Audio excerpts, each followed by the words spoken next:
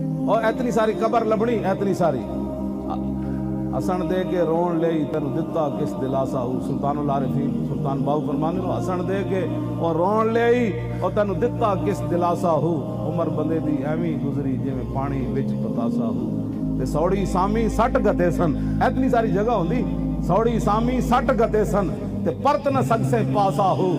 ਤੇ ਸਾਹਿਬ ਤੈ ਤੂੰ ਲੇਖਾ ਮੰਗਸੀ ਬਾਹੂ। ਰੱਤੀ ਘਟ ਨਮਾਜ਼ਾ ਇਤਨੀ ਸਾਰੀ ਕਬਰ ਜਾ ਲੱਭਣੀ, ਉਹ ਵੀ ਕਿਸਮਤ ਵਾਲੇ ਨੂੰ ਲੱਭਣੀ। ਗੌਰ ਕੋਨਾ ਦੇ ਹਵਾਲੇ ਕਰਦੇ ਨੇ ਆਪਣੇ ਪਿਓ ਨੂੰ ਵੀ, ਕਿਉਂਕਿ ਪਿਓ ਸਾਰੀ ਜ਼ਿੰਦਗੀ ਪੁੱਤਰਾਂ ਨੂੰ ਇੱਥੇ ਜਾਈ ਫਿਰਿਆ। ਅੱਜ ਜਦੋਂ ਪਿਓ ਨੂੰ ਚਾਣ ਦੀ ਵਾਰੀ ਆਈ, ਤਾਂ ਪੁੱਤਰ ਉਹਨੂੰ ਕਬਰ ਵਿੱਚ ਵੀ ਨਾ ਉਤਾਰ ਸਕੇ।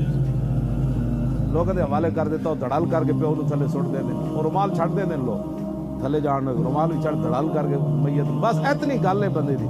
ਆਕੜਨਾ ਕਿਹੜੀ ਗੱਲ ਤੇ ਕਿਹੜੀਆਂ ਗੱਲਾਂ ਤੇ ਤੁਸੀਂ ਕੀ ਕਰ ਰਹੇ ਹੋ ਦੀਨ ਦੇ ਨਾਲ? ਆਣਾ ਉਥੇ ਰਸੂਲullah ਨੇ ਬਸ। कदर यूसुफ दा मालम होया, और भाइयाँ मिसर गया ते कदर नबी दा मालम होसी कब्रा विच पिया उस दिन फिर आनी गल ओहो की बन गया? अज तो जिन्होंने वास्ते मैं आराम हलाल कमाया वो तो मिट्टी पा के चले गए।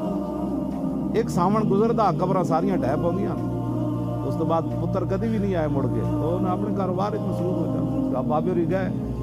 इतनी बात है। और हजूर ने फरमाया, क्यामत वाले दिन अल्लाह दे हाँ बदतरीन इंसान होएगा। अजहबा आखिरत में दुनिया गैर ही कि जिसने किसी की दुनिया की खातिर अपनी आखिरत बर्बाद की।